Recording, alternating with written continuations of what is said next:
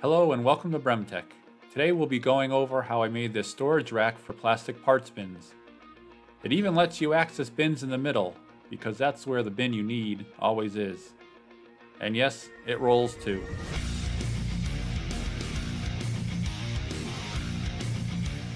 So this isn't my first parts bin rack. I have previously made this one that fits on top of one of my toolboxes. It works pretty well, but this new one will have a couple of improvements, both for functionality and ease of building. I have a very specific place for this rack to fit. It's going under my basement workbench. I had to take into account the height of the workbench and also the casters that I will be using to make sure that this unit fits under the bench. Since this is very specific to my situation, I'm not going to show dimensions for everything, but a little later I'll share the important dimensions so that you can design your own. Some 3 quarter inch plywood cut to size will become the top, bottom, and sides of the rack.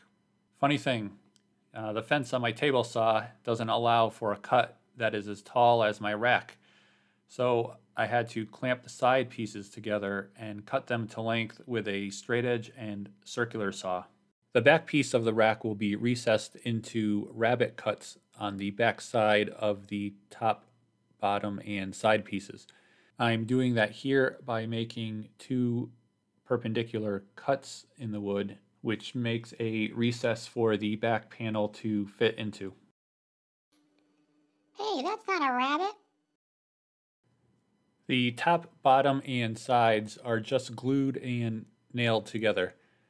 Uh, at this point, I wasn't too worried about the squareness, um, but I, I try to keep it close for now.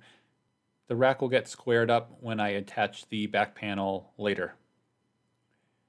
Here you can see what happens when you assemble two pieces with full length rabbets. To fix this, I just grabbed a scrap piece of wood, cut it to fit, glued it in, cut it flush, and then sanded it smooth. The side pieces were bowed.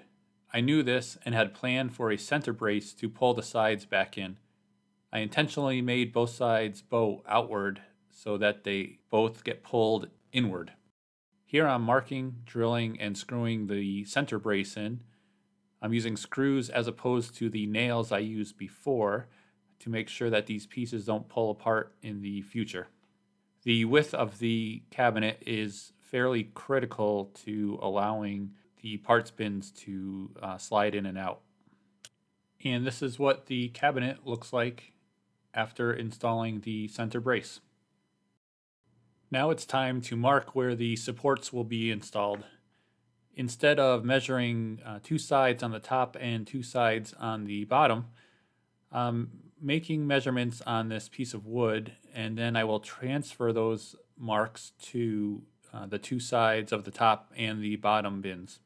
That way I am only measuring one time uh, as opposed to four times. I am changing up the method for installing the side supports. On my previous rack, I used a full piece of OSB and then added alternating pieces of 2x4 support and OSB spacer. This worked, but I had to make a lot of cuts and worse was that even though I started at the top um, with pieces that I thought were the same width, I was off target about an eighth of an inch once I got to the bottom.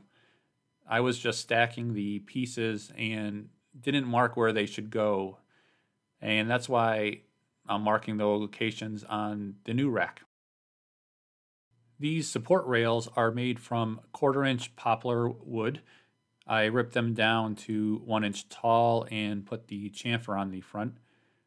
This was a, another improvement from my last rack that had squared off support rails. The chamfer makes it a little bit easier to insert the parts bin. Notice I'm aligning the support rails up with those marks I made earlier. Glue and nails are all that hold the support rails in place.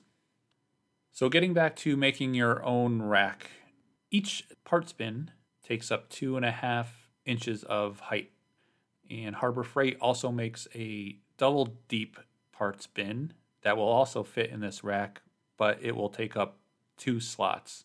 And probably the most critical dimension here is the width between the two side pieces, and it has to be 16 and 9 16th inches.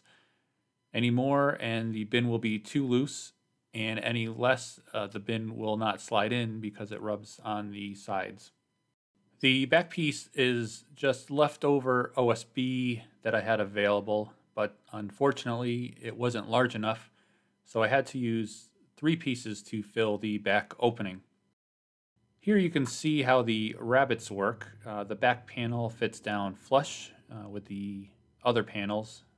And like everything else, the back panel is just glued and nailed into place. Right off the table saw, the corners of the plywood are fairly sharp, so I'm using an eighth inch round over bit on my router to, to knock those sharp edges down. I had some leftover wall paint and primer. The dark gray is the primer and the light gray is the paint.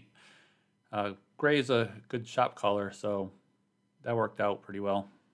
I'm using Harbor Freight casters, and I bought these for another project but didn't end up using them. The wheels lock fine, but the swivels don't lock. It wasn't good for the mobile bench I made, but they'll be fine for the parts bin rack. To install the casters, I will need some screws, and I can get those screws from my parts bin in my other rack. I am pre-drilling holes for the screws, and I'm using a mishmash of screws here because they can't be any longer than the thickness of the plywood, yet the screws have to have a really big head because the mounting holes in the casters are unreasonably large. And no, I didn't fill the rabbet slots on the bottom of the rack. I only did the top. So I'm only using three screws per caster on the back. Now that the casters are on, this thing is all set. And there's nothing left to do except bring it down to the basement and see how it fits under my workbench. Hey, that's not too bad. I'm kinda in the mood for some hair metal.